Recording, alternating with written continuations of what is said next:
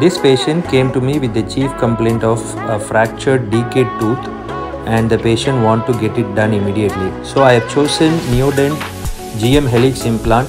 This is a very good implant for immediate primary stability and this is made from Brazil and it is sold by Straumann in India. If you see I have done the drilling and I am placing the implant at around 60 newtons centimeter so that I can do immediate loading of the tooth. The idea for this case is I am going to use the extracted tooth and cut the crown and make that crown as a prosthetic for this patient rather going for an impression method because I had a very favorable occlusion. Patient is having a proclined upper anterior so I was able to place the natural teeth also. You can see the implant has been placed and the abutment has been chosen. A verification IOP has been taken and the implant has been placed in an ideal position in the socket.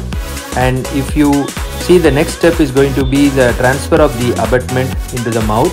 So I am using a prosthetic abutment from the stock and this is a straight abutment. If I would have used an angulated abutment, the angulation would have been even more favorable but I want to do that in the in the final outcome. So you can see this patient uh, cut tooth is there. After the abutment is placed and verified, you can see the angulation and the primary stability is fantastic for this patient. So I'm going to prepare the prosthetic part now. I'm, cutting the root and the crown into two parts and remove the crown. All the decay and everything has been removed now. And the tooth is prepared in such a way that the tooth can be refixed into the implant abutment. You can see I did a trial of that and I try to expose the palatal surface so that I can remove the crown along with the abutment in the near future.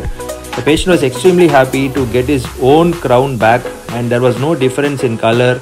The time was saved. Exactly all this were done in, in 45 minutes time and patient had a wonderful experience with this and patient was extremely happy to go back with the same crown which he was having.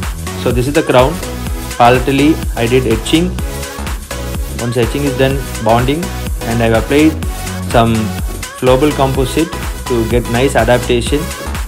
Added extra composites to cover up the deficiencies. And cured it intraorally and got it removed and rechecked it. Put the Teflon coating in the abutment and refixed it with GIC patient was extremely happy now. For implant courses please call me in the below number. We would be happy to give you patients like this and get you trained in all sorts of possible difficult situations. Thank you for your continuous support. If you like this video, share this video with your friends and click the like button and the subscribe button and also please comment your valuable comments about this case. If you have any doubts also you can post your doubts here. Thank you.